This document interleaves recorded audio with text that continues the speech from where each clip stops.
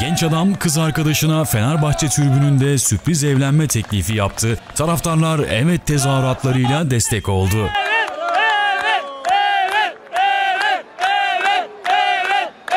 Kız arkadaşı Naz Erdoğan'la birlikte Fenerbahçe Galatasaray basketbol karşılaşmasını izlemek için Ülker Spor Salonu'na giden Semih Anıl karşılaşma sırasında sevgilisine evlilik teklifinde bulundu.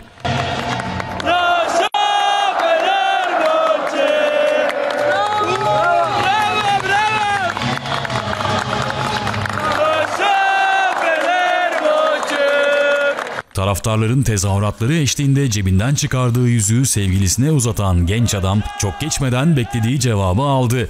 Genç çiftin mutluluğuna salondaki taraftarlar da ortak oldu. Taraftarlar hep bir ağızdan evet diyerek Semih Anıl'a destek oldu. O anlar ise cep telefonu kamerasıyla böyle kaydedildi.